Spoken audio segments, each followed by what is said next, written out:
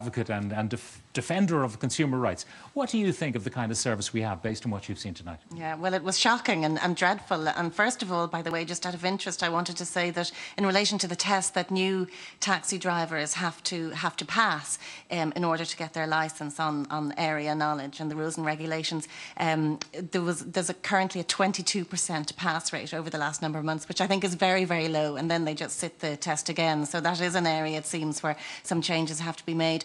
But, you know, somebody here said that we should expect a good service. It's not that we should expect it. We're entitled to it.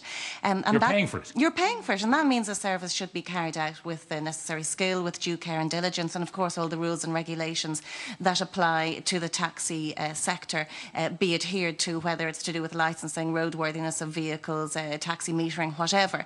Now, what do you think of the, the ratio? Nine inspectors for 42,000 yeah. Uh, drivers and 25,000 vehicles. Yeah, it doesn't seem enough, does it? Now, we have the nine inspectors. Then, in addition, they do work with the Gardaí, and I'm told go out about three times a month, is what I've been told, with the Gardaí on joint enforcement actions.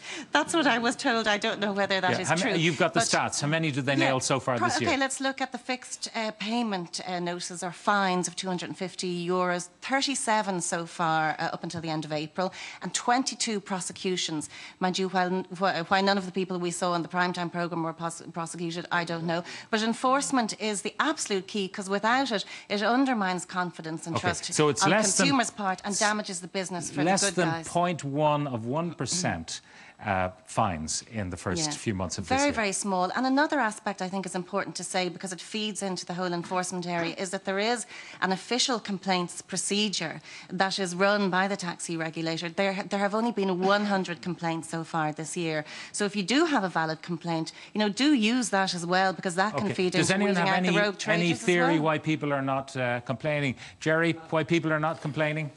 I, I don't know. Uh, the facility is there. People can complain. But one thing I want to